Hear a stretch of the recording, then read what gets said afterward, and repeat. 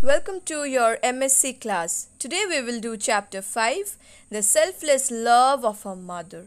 Here in this chapter we will learn that how our mothers are the reason of our existence. Mothers are the God's gift to humanity. All mothers love their children selflessly.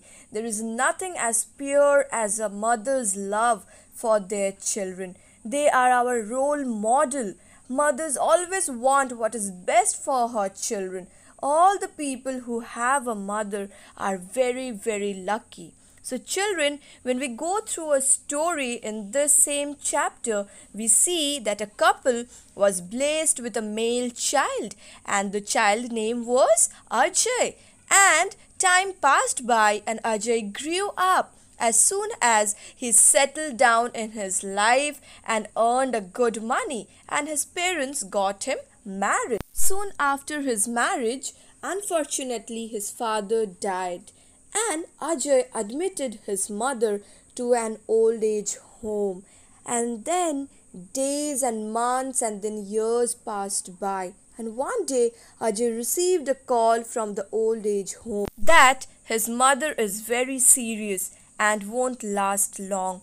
And then Ajay rushed towards the old age home and he saw that his mother was lying helplessly on the bed and his mother wished to get few fans installed in the old age home.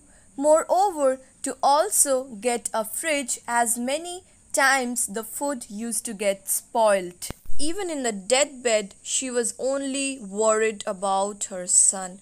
She was worried that what will happen if one day Ajay's child send him to the same old age home.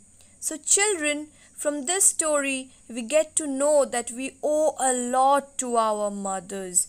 In the story, the last wish of the mother showed how great her love affection towards her son. Moreover, it also showed how good the mother was as she happily tolerated the injustice of her son for so many years without complaining. But it was too late for Ajay to realize. So, children, we learn from the story that we should always be caring and affectionate towards our mother. We should help her in the household jobs and reciprocate her love and remain in debt to her all through our life.